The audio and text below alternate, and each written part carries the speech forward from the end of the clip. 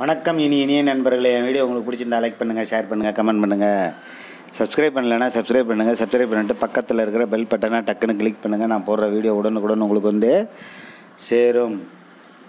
Gujarat police. Post name police suspend police sub inspector assistant sub inspector and intelligence officer மொத்த காலியிடம் ஆயிரத்தி முந்நூற்றி எண்பத்தி ரெண்டு.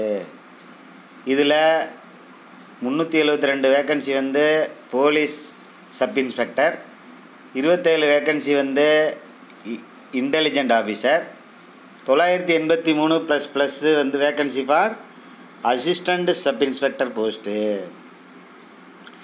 job type வந்து பர்மனண்ட்டு ஜாப் லொக்கேஷன் வந்து குஜராத்து எஜுகேஷனல் குவாலிஃபிகேஷன் வந்து BA BSc BCom BE BTech BCA BBA or equivalent academic degree holder eligible experience வந்து freshers can also apply age limit வந்து இருபத்தோரு வயசுலேருந்து முப்பத்தஞ்சு வயசு வரைக்கும் இருக்கணும்.